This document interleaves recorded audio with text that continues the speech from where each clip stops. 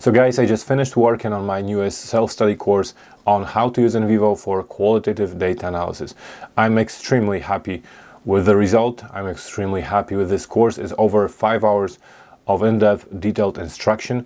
I'm taking you on the whole journey, the whole analytic journey, the whole process as I'm working on the data, I'm showing you everything, not just in terms of the functions of NVivo, but also explaining it from the perspective of research, why these things, uh, these things need to be uh, to be done, why I'm doing the things the way I'm doing. So it's all based obviously on my experience. It's very practical. I provide you a sample data set that I'm using in the course. We're uh, trying to answer hypothetical research questions as well. So, so it's a very practical experience uh, that resembles uh, the process, the experience of working on an actual study. So, so I think that's the best thing about this course. As I said, it's a self-study course. You can complete it in your own time, whenever you want, uh, and you can do it as many times as you want. So you have a lifetime access for a very low price.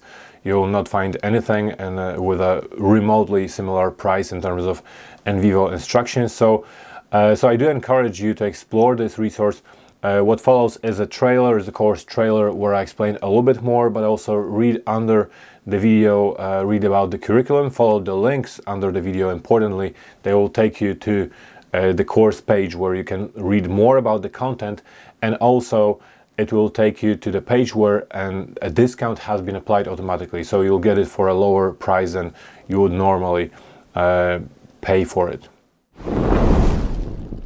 If you're new to NVivo, this course is the best thing that could happen to you. Now give me two minutes and I'll explain everything you need to know about the course and about myself. So firstly, I'm a professional data analyst and research consultant and I've worked for hundreds of big companies and top universities including the universities of Oxford, Cambridge or Edinburgh. And this course, From Zero to NVivo, has been consistently named the most effective, the highest rated and the most popular NVivo course online in the recent years. Just look at some of the reviews it received. In the course, which is about the currently most recent and up-to-date version of NVivo, often referred to as R1 or Release 1, I'm using a sample dataset consisting of interviews with chefs and actors to show you the process of coding and then analyzing this data thematically.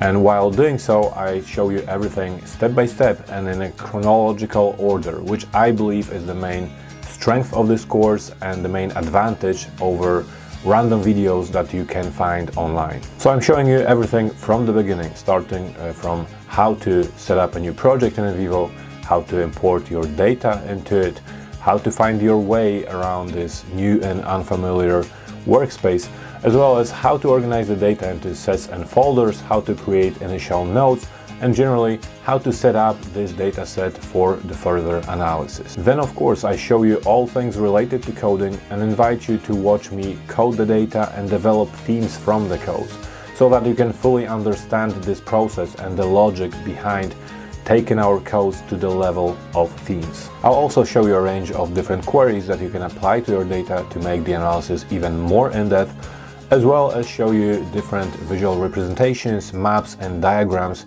that you can use to represent the results of your work or your thoughts and assumptions. And finally, I also discuss different kinds of data sets. So I talk about focus group data and questionnaire data, as well as cover different ways in which we can export the results of our analysis. It is important to know that this course is a result of several years spent working with different clients and students, which means that I know what questions typically come to your minds when faced with this rather overwhelming task of analyzing your data. Therefore, I always try to make it practical and in addition to showing you simply how to use certain functions of NVivo, I try to convey my overall logic and my overall approach to data analysis so that you understand which options to choose and why. So in general, to make you confident in what you're doing. Now feel free to read more about the course curriculum and reach out to me privately if you still have any questions. Otherwise, I'm looking forward to seeing you in the course.